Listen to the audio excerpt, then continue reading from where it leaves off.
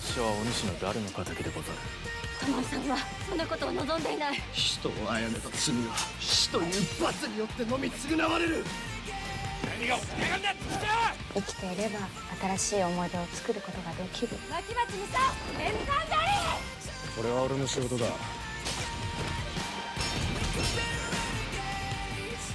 誰かを憎まないと気が狂ってしまいそうでお主人を切ったことがあるかルローニケンシン最終章。ザ・ファイナル・ザ・ビギニング2部作連続公開。